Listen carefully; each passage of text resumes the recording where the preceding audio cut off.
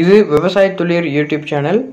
இந்த வீடியோவில் நம்ம எதை பற்றி பார்க்க போகிறோம் அப்படின்னா வாத்து வளர்க்குறத பற்றி தான் இந்த வீடியோவில் நம்ம பார்க்க போகிறோம் எந்த மாதிரி தீவனம் வந்து கொடுக்கணும் எத்தனை வகை வாத்து வந்து இருக்குது அப்படின்றத பற்றி தான் இப்போ நாம் பார்க்க போகிறோம் இந்த வீடியோக்கு போகிறக்கு முன்னாடி விவசாய தொழில் யூடியூப் சேனலை மறக்காமல் சப்ஸ்கிரைப் பண்ணிடுங்க இந்த வீடியோவை ஃபுல்லாக ஸ்கிப் பண்ணாமல் பாருங்கள் வாங்க வீடியோக்குள்ளே போகலாம். இந்த வாத்து வந்து ஒயிட் பெக்கின் அப்படின்னு சொல்லுவாங்க. சில பேர் வந்து பிராய்லர் வாத்து அப்படின்னு சொல்லுவாங்க.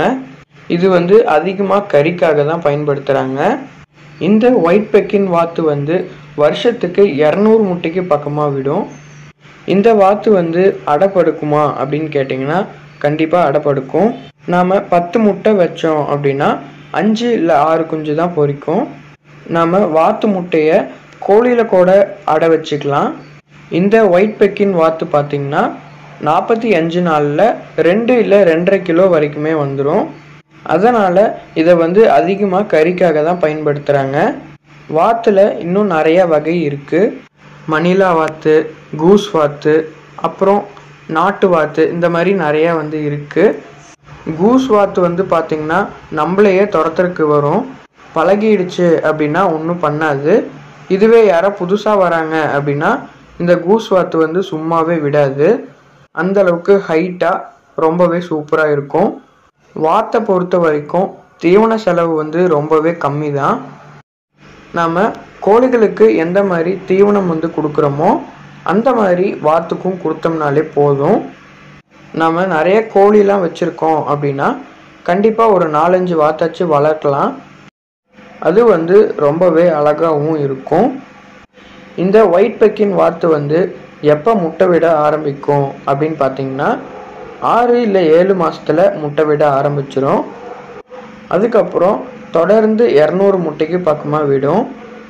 இதுவே நாட்டு வாத்தெல்லாம் முட்டை வந்து கம்மியாக தான் விடும். அதே மாதிரி அதோட எடையும் கம்மியாக தான் இருக்கும். வாத்து அப்படின்னாலே அதுங்களுக்கு ஒரு சந்தோஷம் எது அப்படின்னா தண்ணி தான் இப்போ நாம் ஒரு வாத்து பண்ணையே ஆரம்பிக்கிறோம் அப்படின்னா கண்டிப்பாக ஒரு சின்ன தொட்டியாச்சும் இருக்கணும். ஒரே இடத்துல தண்ணி வந்து நிறைய தேங்கி இருந்தது அப்படின்னாலே வாத்து வந்து ரொம்ப ஜாலியாக நீந்தி விளையாண்டுட்டு இருக்கோம். வாத்துக்கு வந்து தனியாக நம்ம எந்த தீவனமும் கொடுக்கவே தேவையில்லை. கோழிகளுக்கு கொடுக்கும்போது அந்த வாத்து வந்து சாப்பிட்டுக்கும். அதுவும் இல்லாமல் புழு பூச்சியெல்லாம் வந்து சாப்பிட்டு சீக்கிரமாகவே பெருசாகிடும் இதுவே வாத்து பண்ணை வந்து வச்சுருந்தோம் அப்படின்னா கண்டிப்பாக அதுக்குண்டான ஃபீடை கொடுத்து தான் நம்ம வளர்த்தணும். அப்போ தான் சீக்கிரமாக பெருசாகும். முக்கியமாக வாத்துகளுக்கு நோயே அதிகமாக வராது.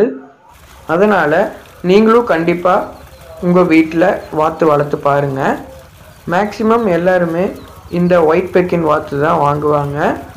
இதை வந்து பிராய்லர் வாத்து அப்படின்னும் சொல்லுவாங்க. நீங்களும் கண்டிப்பாக வாத்து வளர்த்து பாருங்கள் விவசாய தொழில் யூடியூப் சேனலுக்கு உங்களோட சப்போர்ட் வந்து எப்பயுமே இருக்கணும்.